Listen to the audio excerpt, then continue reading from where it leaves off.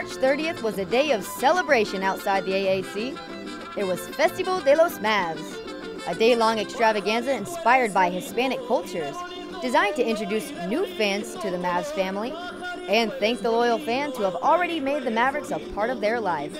It's the Hispanic Heritage Day. It's Festival de los Mavs. It's an opportunity for everybody who speaks a little Spanish to come out and have fun, but also to celebrate the Hispanic heritage that is so, you know, ubiquitous here in the Dallas-Fort Worth Metroplex. Festival de los Mavs was the brainchild of Mark Cuban, who has made it a goal of his ever since he purchased the team in the late 90s to reach out to the Hispanic community.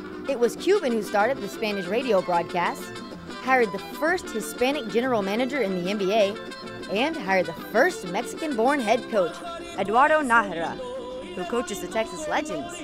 An event like Festival de los Mavs helps reinforce the fact that the Hispanic community is a huge part of the Mavericks' success as an organization.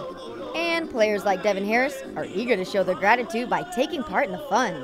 I've always been curious about other coaches, good because these fans support us too, especially being in Texas. Obviously, the Latin community definitely gave us a lot of support, so it's good to give back. They show a lot of love to us in so many ways that uh, they really help us in the community uh, with majority of the things that we do, so I always give back to them as well.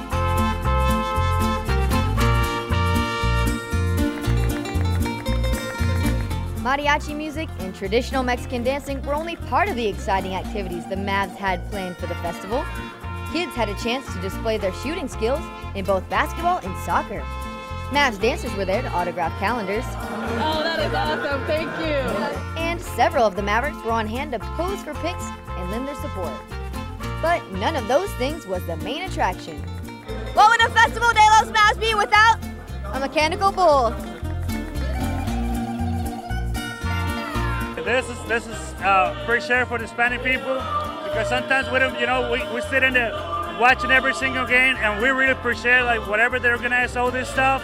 We really appreciate it because we're Hispanic and we enjoyed it all day long. I see you're obviously a big Mavs fan out here with that tattoo. Tell me what's up with that. Just got it whenever the championship happened and it's part of history, so I had to get it. I saw you trying to teach Mark Followill how to introduce and, and promote this event. Uh, tell me how that went. Well, you know, Mark and I have been traveling with the Mavericks since 2005. Of course, he's been doing the games for longer than me, but but uh, we really have a very good relationship. And he's learned a lot of Spanish hanging out with me. We sit together on the plane, so uh, it's been really really a lot of fun to get him to say things. And then the outtakes are really funny because he was like, ah.